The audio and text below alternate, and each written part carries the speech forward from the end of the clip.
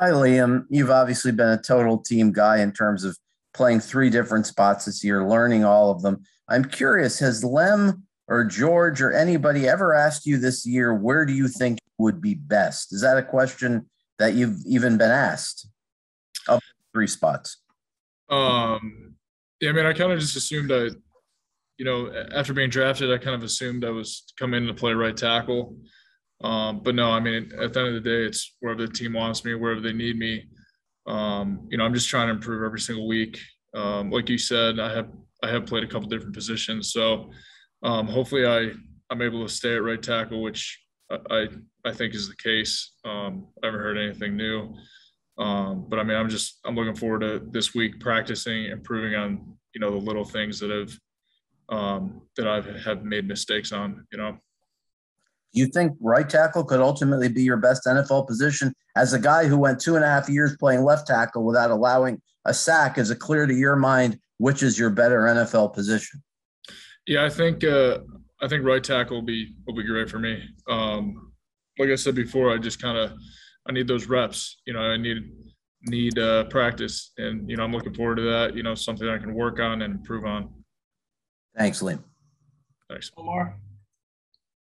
I, I know you're you're settling in at right tackle now, but how much work do you actually get on the opposite side at left tackle?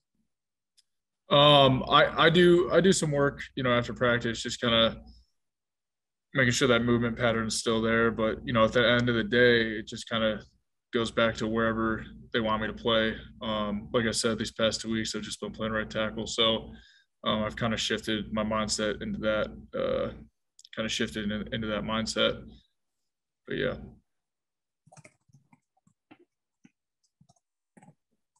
Anybody else have a question for Liam? Nope, nope. Ahead, Hi, Liam. Just uh, just one more thing. Just how Lem basically said you you graded out yesterday. Uh, were there encouraging signs from the review of the tape for you personally? Um, you know, we watched the film. Um, it just kind of goes back to the little things. You know, for me, it's you know not leaning.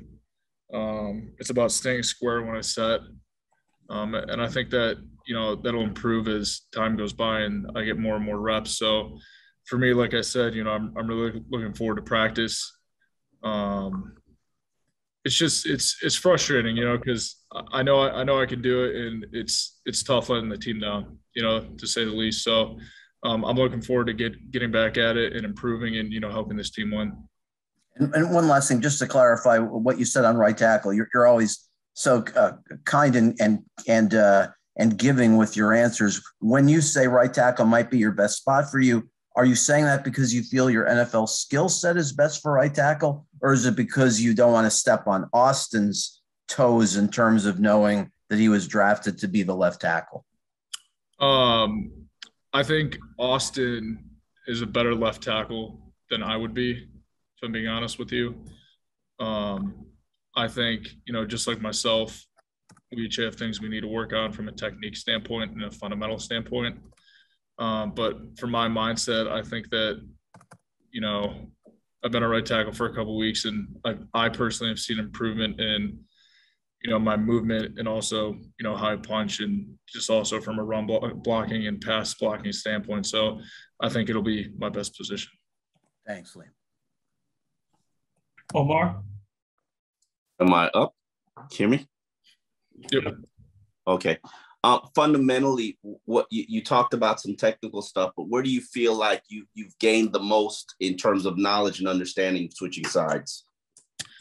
Um, I would say, you know, just kind of, you know, from switching to the left to the right. I think personally, I kind of, I feel like, you know, as reps go on, I think I'll have a better ability to keep my balance on the right side than on the left um, compared to in college. I think I leaned a lot more in college on the left side. So on the right side, I, th- I think I have a better um, ability to, you know, kind of stand my ground and, you know, be balanced. But fundamental fundamental standpoint, I think, you know, I just need to, you know, keep my head out when I punch. Those are kind of the biggest things. Then also kind of get used to, you know, throwing the hands more. What do you, what do you think has been the issue with the run game? Uh, my personal run game, you know, I I need to work on not false stepping. I need to work on gaining ground. Um, you know, kind of helping the guard out. Um, but I mean, like I said, it kind of goes back to fundamentals and technique. So for us as an offensive line, we just kind of need to focus on those details.